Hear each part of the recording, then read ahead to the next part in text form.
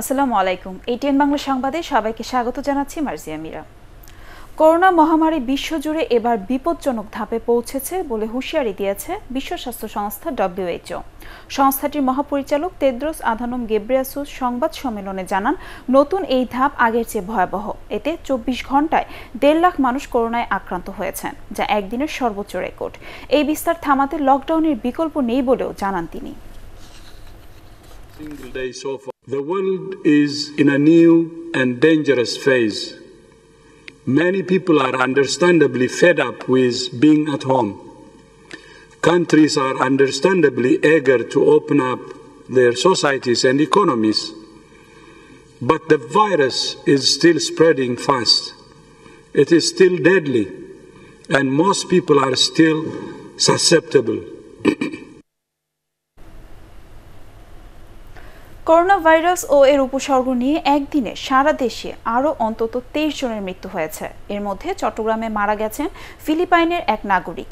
তিনি করোনা উপসর্গ নিয়ে হাসপাতালে ভর্তি হন। খুলনায় মারা গেছেন সাতজন বরিশালে চিকিৎসক সহ মারা গেছেন ছয়জন এর মধ্যে শেরেবাংলা মেডিকেল কলেজ হাসপাতালের সিনিয়র কনসালটেন্ট ডাক্তার এমদাদুল্লার মৃত্যু হয় করোনার উপসর্গে।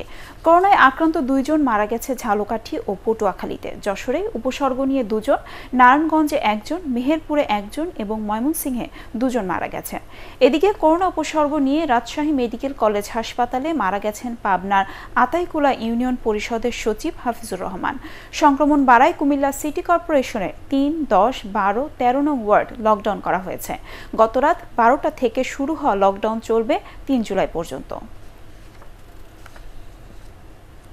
করোনায় আক্রান্ত হয়ে মারা গেলেন বরেণ্য সাংস্কৃতিক ব্যক্তিত্ব ও সাংবাদিক কামাল লোহানি।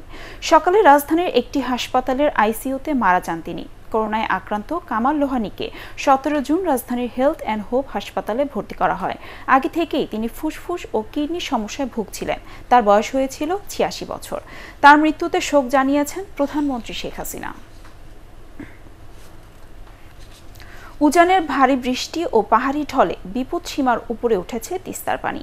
নীলফামারীর ডালিয়া পয়েন্টে বিপদসীমার আঠারো সেন্টিমিটার উপর দিয়ে বইছিল তিস্তা নদীর পানি। স্থানীয় বন্যা পূর্বাভাস ও সতর্কীকরণ কেন্দ্র জানায়, গত কয়েকদিন থেকে ওঠানামা করলেও বিপদসীমা ছাড়ায়নি তিস্তার পানি। আজ সকাল ছয়টায় ডালিয়া পয়েন্টে বিপদসীমার প্রায় বিশ সেন্টিমিটার উপর দিয়ে তা প্রবাহিত হচ্ছে। পানি বৃদ্ধির ফলে ব্যারেজের সবকটি গেট খুলে দিয়েছে পানি উন্নয়ন বোর্ড। দর্শক, পরবর্তী সংবাদ দেখার আমন্ত্রণ জানিয়ে এখনকার মতো শেষ করছি। সবাই ঘরে থাকুন, নিরাপদে থাকুন। এটিএন বাংলা সংবাদ ইউটিউবে দেখতে ব্রাউজ করুন YouTube slash ATN Bangla news ধন্যবাদ সবাইকে।